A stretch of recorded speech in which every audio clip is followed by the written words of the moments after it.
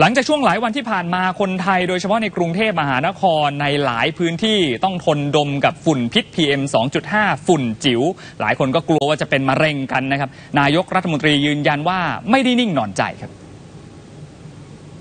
นายเศรษฐาทวีสินนายกรัฐมนตรี และรัฐมนตรีว่าการกระทรวงการคลังลงพื้นที่บริเวณแยกราชประสงค์ ไปดูสถานการณ์ฝุ่น PM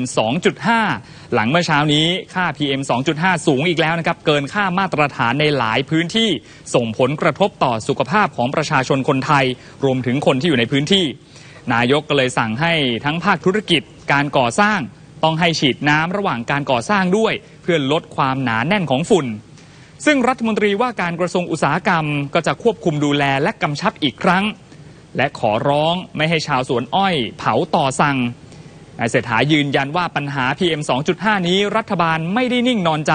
ต้องแก้ทุกพื้นที่ทั่วประเทศ และเพื่อนบ้านด้วย ทั้งเมียนมาและสปปลาว ทั้งการเผาป่า เผาอ้อย เผาต่อสัง เผาข้าวโพด เพราะว่าเรื่องนี้เป็นเรื่องของสุขภาพพี่น้องประชาชน